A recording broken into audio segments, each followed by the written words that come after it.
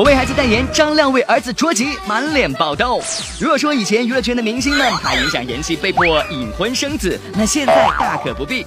最近一档明星亲子类真人秀节目的播出，孩子火了，家长也跟着人气爆棚，走到哪儿都得回答有关孩子的话题。昨天在某颁奖典礼的红毯上，就出现了明星为孩子代言的场面。首先，我们看见了名模张亮，不禁让人想到他那任性的儿子小天天。